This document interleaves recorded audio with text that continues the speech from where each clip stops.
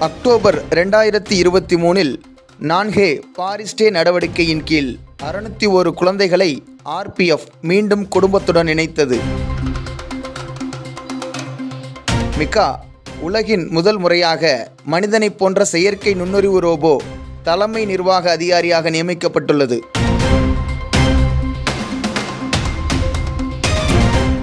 தேசிய கல்வி நாள் இந்தியாவில் ஒவ்வொரு ஆண்டும் நவம்பர் மாதம் பதினோராம் நாள் கொண்டாடப்படுகிறது.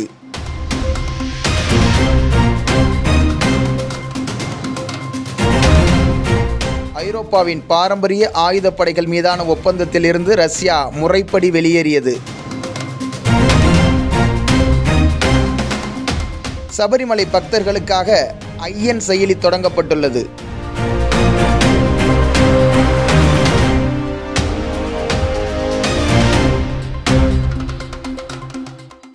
மக்களவையின் நெறிமுறை குழு மக்களவையின் உறுப்பினரான மொய்த்ராவை தகுதி நீக்கம் செய்ய பரிந்துரைத்துள்ளது.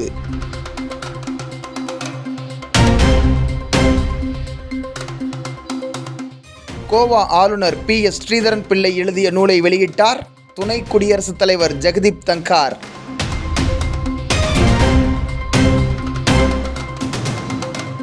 உள்ளாட்சி அமைப்புகளில் முப்பத்தி மூன்று சதவிகித பெண்களை சேர்க்கும் நகர்ப்புற மசோதாவை நாகாலாந்து நிறைவேற்றியது.